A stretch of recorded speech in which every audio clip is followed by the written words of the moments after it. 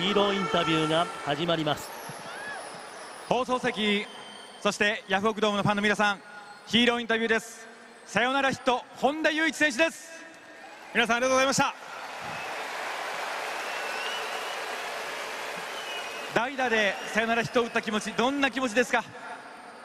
あの正直あのもう緊張しすぎてあのおちょっと覚えてないですね。はい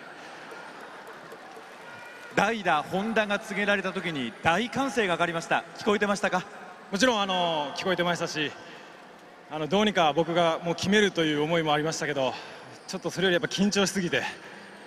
ちょっと何が何だか打席入っても分からなかったですね。はい。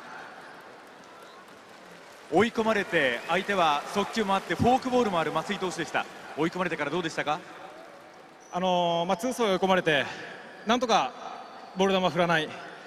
そしてまっすぐをしっかりカットしていこうと思ったんですけど、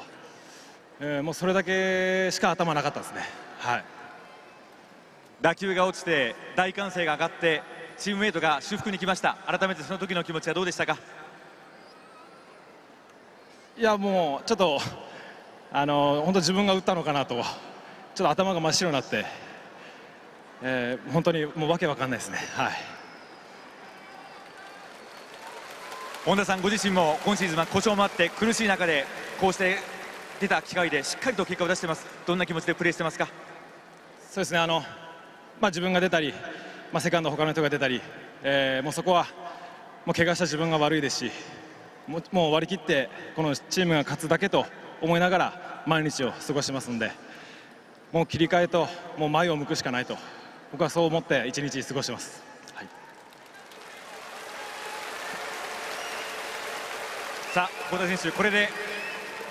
ホークス今日勝ってマジックナンバー38が点灯しました。そうですね。あ監督もおっしゃってたようにまだ38ありますんで、えー、まずは明日もう一回3連勝するために、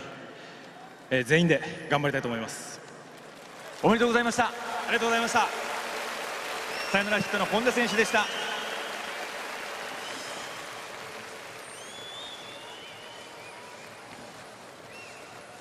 まあマジック点灯38まあ、残り試合まだ50試合という中での数字ですからピンとこないかもしれませんがただ、連勝が7まで伸びたというね。そしてオールスター明けも11勝1敗と貯金10です。いやねね負けないですよ。ねえまあ、工藤監督もまずそのマジック点灯よりもこの3連戦の勝ち越しということをおっしゃって、この2勝をしっかりこの3連戦でもまずは取りました。まあ選手もね、はいうん、その監督の言葉にね、はい、しっかり応えますからね。そうですね、えー、今、本田選手もあの代打の場面は緊張したというね言葉がありましたけども。ただ、あの場面でしっかりと追い込まれながらそのフォークボールをしっかり見極めて最後は打てるフォークをしっかり捉えましたね。そうですね、ねやっぱりあの、うん、ワンバウンドのフォークボールをね、追い込まれてやっぱり見送ったのは、うん。勝利ですよね。そうですね、えー